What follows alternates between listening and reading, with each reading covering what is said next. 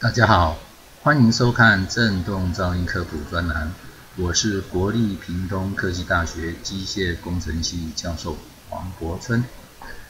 这个单元要来探讨的主题是如何解析打击乐器战音铁琴的声音特征。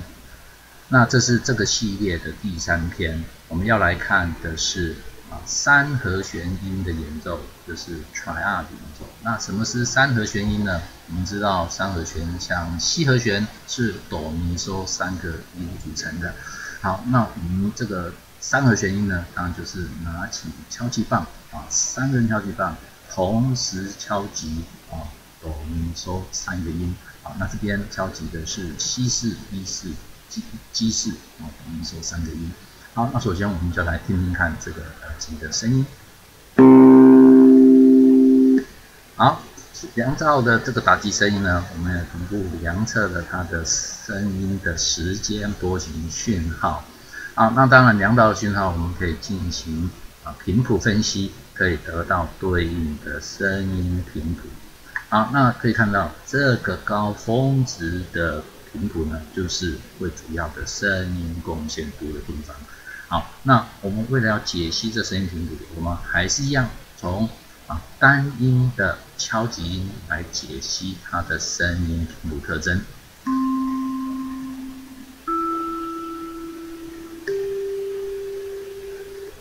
好，这个三个呢，就是单一敲击音的量测到的声音信号。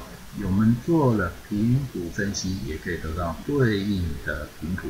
那我们说过啊。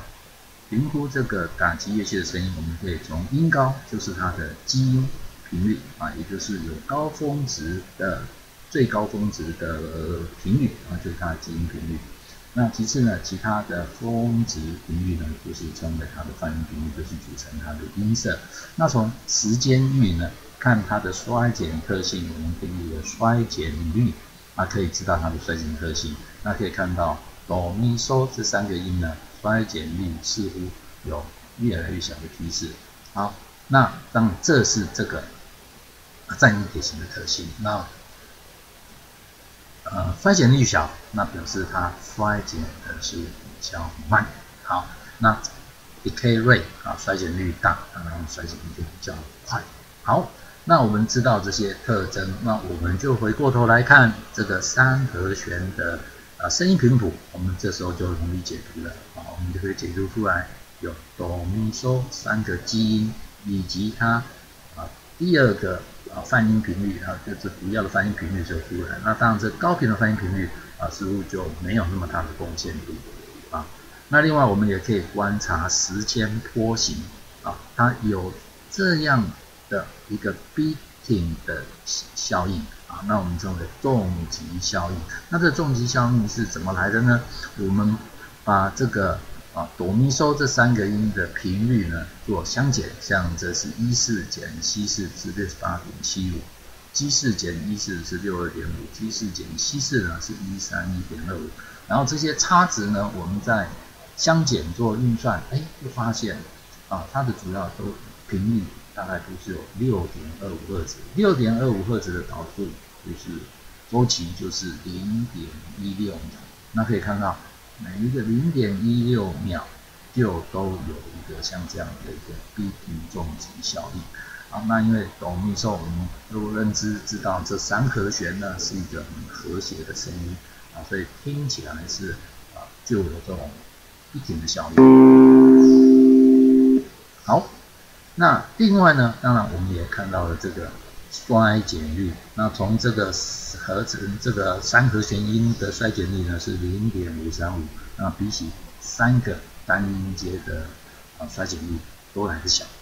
好，好，综合一下我们这个单元的讨论，我们看的一样是战音铁琴的声音特征。那这个单元看的是三和弦音的演奏的声音的特征。啊，那我们可以从声音频谱去知道出它的基因频率以及它的泛音频率，那这三个和弦音的基因频率啊泛音频率都被激发出来啊。那在时间域呢，我们看到了重击效应的特征。那主要原因呢，就是来自它们的频率差而形成的这个中极效应。那第三个特征呢，就是这个衰减率。那可以知道，这个三和弦音呢，它的衰减率比单音的衰减率都还要来得小。好，这个单元我们就介绍到这里。